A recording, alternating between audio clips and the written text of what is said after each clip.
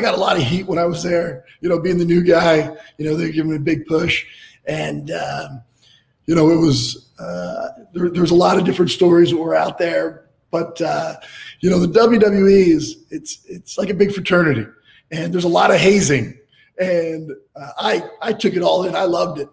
Uh, I, I, remember once when I was on the European tour, I got stuck with a. Uh, I think the, at the time the euro was like two and a half to one, and I got stuck with like a twenty-seven thousand dollar bar bill.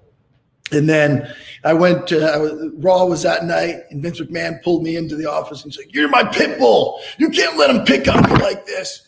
You know, from now on, you just stay in. You get here early. You practice, and and uh, uh, but no more going out." So that night, sure enough, I think we were in Italy. Uh, went to bed early, locked my door, and around three o'clock in the morning, uh, there were like six top guys. I'm not going to name names, but uh, they came in with a fire extinguisher and you know uh, they sprayed down the room. I picked up the fire extinguisher, sprayed it back, and needless to say, uh, the Vince McMahon was not happy about that.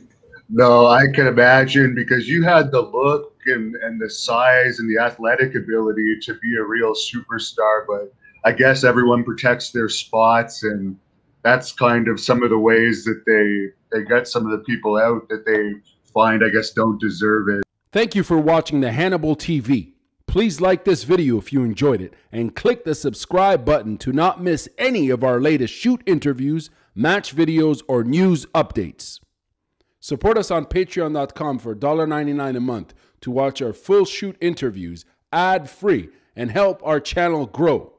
Follow us on Twitter at the Hannibal TV for instant updates.